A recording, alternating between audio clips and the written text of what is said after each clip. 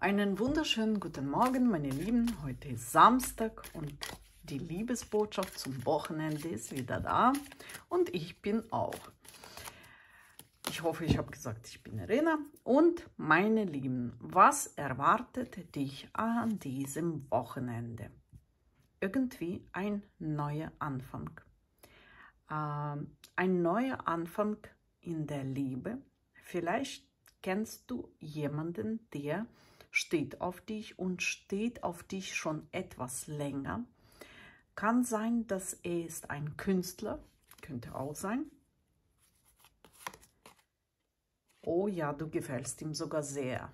Schaut mal, meine Lieben, das ist die Königin der Kelche, das heißt Frau seines Herzens. Du bist wirklich die Person, die ihn fasziniert, die ihn, ähm, ich sag mal so, Du bist seine Muse.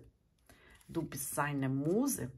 Und ich werde sagen, dass äh, er kennt dich schon wirklich etwas länger. Vielleicht äh, er hat deine letzte äh, Beziehung hm, beobachtet und kennt ein bisschen dich. Und so wie aussieht, dieser Mann ist bereit, um dich zu kämpfen. Was wird diese Wochenende passieren? Sieht so aus, dass äh, du bekommst vielleicht eine Einladung, eine Einladung zum Ausgehen und ein tolles Gespräch, meine Lieben, über die Zukunft. Manche von euch werden auf jeden Fall zu Hause überrascht und genauso eingeladen, meine Lieben, zum ro romantischen Dinner oder so.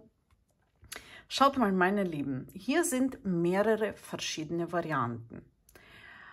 Äh, manche werden äh, mit Freunden ausgehen und liebevolle Mann kennenlernen. Andere werden, so wie gesagt, zu Hause überrascht mit einer Einladung für ein äh, zum Ausgehen, sich kennenlernen, äh, tolle Gespräche, Familien, äh, irgendwie welche Unternehmungen.